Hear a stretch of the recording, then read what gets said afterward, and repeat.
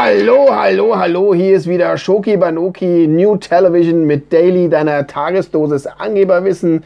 Wir hauen euch wieder so viel Angeberwissen auf die Ohren, dass ihr mit den Ohren schnackelt.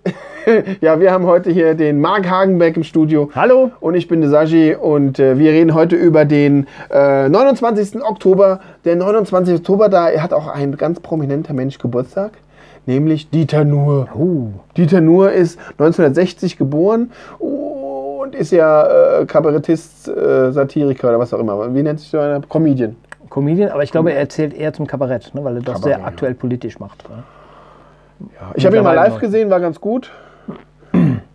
Aber auch nur ganz gut. Ich finde ihn okay.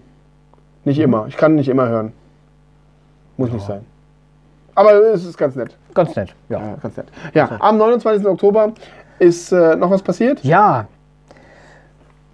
Und zwar ist Folgendes passiert. Ähm, 1187, Papst Gregor der Achte verkündet, dass Jerusalem wieder in der Hand der Ungläubigen ist. Und das ist der Auftakt zu den dritten Kreuzzügen. Ach so. Und das war am 29. Oktober und du bist sicher, dass es auf den 29. Oktober gemünzt wird? Also, dass es das Datum der 29. Oktober war? Wann Ja. war das? 1100? 1187. 1187 am 29. Oktober. Wie? Ja. Meinst du, die haben das wirklich so weit? Ich denke So mal, genau datieren ich können? vermute einfach mal, dass es dazu eine päpstliche Bulle geben wird, in der das äh, verbrieft ist. Eine Bulle. Eine Bulle, ja. Was ist das denn? Ein Schriftstück.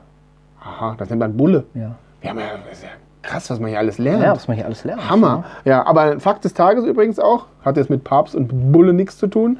In einem südamerikanischen Gefängnis gibt es einen Nachtclub. Ja.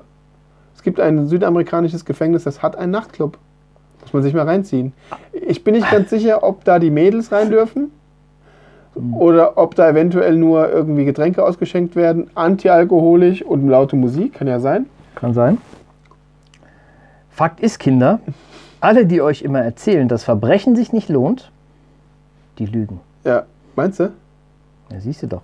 Ja, auf jeden Fall Zumindest in, in in Südamerika, wenn man Südamerika. in dieses Gefängnis kommt. Also man muss in dieses Gefängnis kommen und dann hat es sich ein bisschen gelohnt. Ich habe auch mal ein Bild für euch. Da ja, das ist, das ist nicht das Gefängnis, aber es ist ein Gefängnis. Ja, aber das ist eine kleine Rose. Das ist schon eine kleine Rose, seht kleine ihr? Rose, ja, ja, ja. Ja, das ist von dem Wächter. Der legt dann so eine kleine Rose dann äh, Ja. aufs Bettchen und dann äh, erhofft er sich etwas.